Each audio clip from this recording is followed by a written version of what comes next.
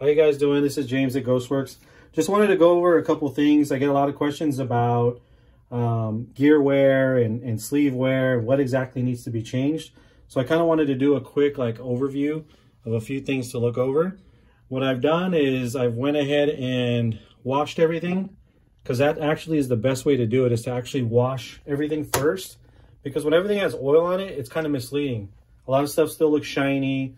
It can kind of still look like it's good, but once you wash it, it really shows the wear. So what I have here is a K20, notorious for second gear, gear failure. So I wanted to use this one as an example. So one of the first things I look for is the gear itself. So this is a second gear. And as you can see here, the teeth are all smashed over. Obviously bad. So what I did was I have a brand new piece so you can take a look at what it's actually supposed to look like. So as you can see, the teeth are sharp, they're at a point.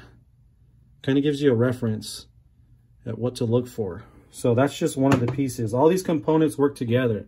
So if any of them are bad, oftentimes the rest of them are going to be bad as well. So uh, let's take a look at the sleeve.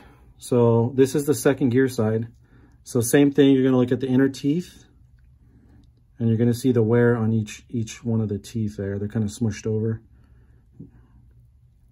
And then I will uh, show you a brand new one. As you can tell, there's a big difference on all the teeth here.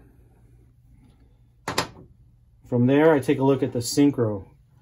The synchro ring, now commonly what everybody says is, oh, I need to replace my synchros. That's never the case. It's never just the synchro ring. Everything works together. So as I mentioned, if just the synchro's bad, it's probably going to be the rest of it as well. So here is a, a synchro ring from that set. And as you can see, you can see this ring around it. So what this ring is from is when it's actually sitting on the gear and it's lost all its clearance to where it's all the way flat and it develops that ring. So basically the synchro is not doing anything at all. It's just completely flat. So that's why it starts to develop that ring on it. Lastly, the thing to look at is the center hub. The center hub is what the sleeve slides on. And that's what it goes over and selects the gear. So I don't know if you can see that. You can see the grooves in here. So a lot of people will just try to change the sleeve. If you just try to change the sleeve and you got these deep grooves in there, what's going to happen is the new sleeve is going to start to get caught in those grooves.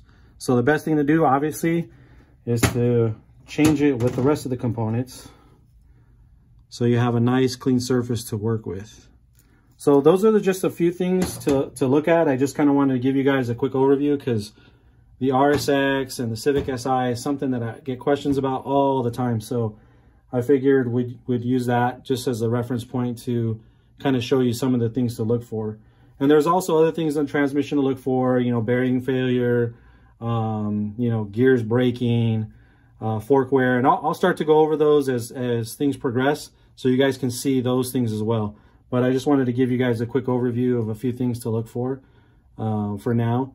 And if you guys have any questions, just feel free to DM me or email me any questions you guys have. All right, thank you.